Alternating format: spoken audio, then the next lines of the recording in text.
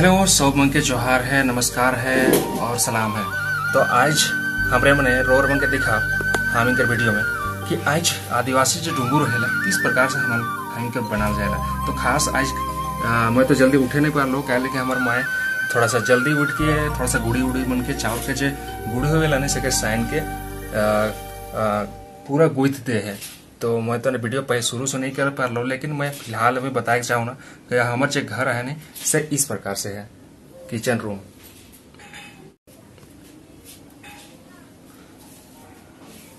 और ये रहा चूल्हा, आप देख सकते हैं, इस प्रकार से यहाँ पर हम लोग, फ़िलहाल तो अभी लकड़ी का चूल्हा नहीं बनाया यहाँ पर दो अच्छी चूल्हा है, और क्या बोलते हैं, यहाँ पर हम लोग गुलिया उलिया डालते हैं, और ये रहा हम लोग का लकड़ी का चूल्हा।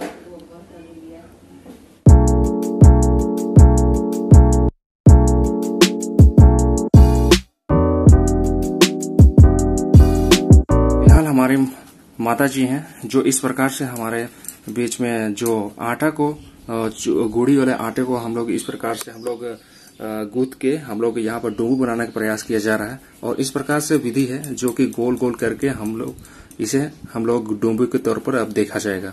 और फ़िलहाल अभी मैं बता दूँ कि यहाँ पर जितने आ, क्या बोलते हैं इसे बनाने के लिए खास तौर पर हाथ में अगर लटका जाता है ना तो यहाँ पर हम लोग का सरसों का तेल है जो कि हम लोग हाथ में लगा लगा के यहाँ पर करते हैं, डुंगू बनाते हैं। तो चलिए, मैं भी बना के बना के दिखाता हूँ आप लोगों को किस प्रकार से बनाया जाता है। और फ़िलहाल हमारी माता जी हर चीज़ मैं इन्हीं से सीखता हूँ और हमारी जो भी, कुछ भी बनाने का क्रिया रहता है ना, मैं अपनी माँ माँ जी के साथ में ही सीखता हूँ। तो आज मैं बनाना बनाने वाला हूँ माँ के साथ में, ये डुंबू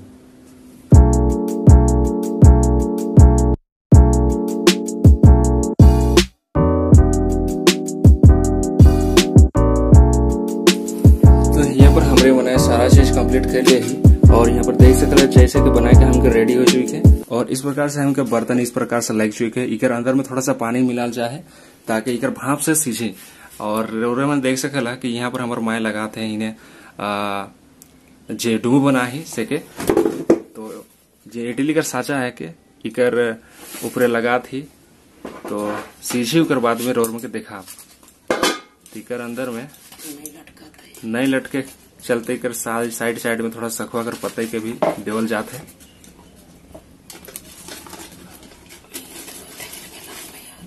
कुछ यहाँ पर भी है, कुछ हुआ पर भी है, और में देख सकेला।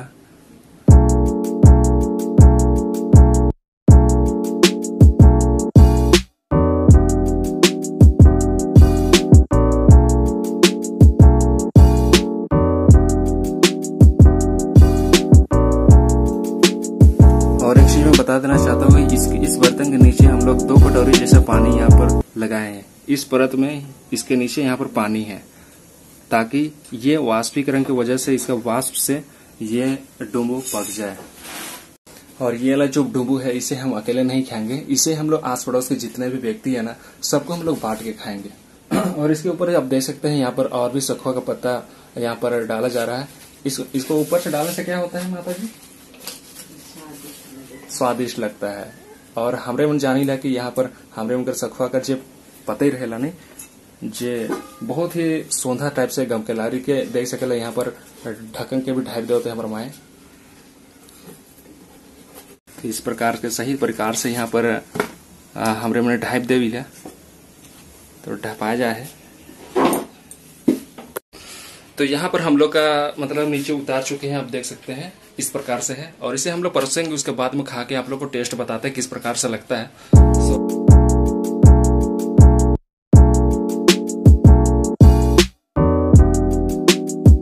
तो ये रहा हम लोग परोस चुके हैं इसे खाते हैं।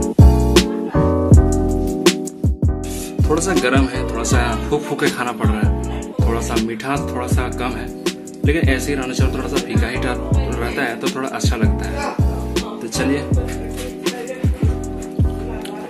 तो गैस ये वीडियो आप लोगों को अच्छी लगे तो लाइक करें शेयर करें और हमारे चैनल को सब्सक्राइब करें। सो मिलते हैं किसी दिन और किसी वीडियो के साथ।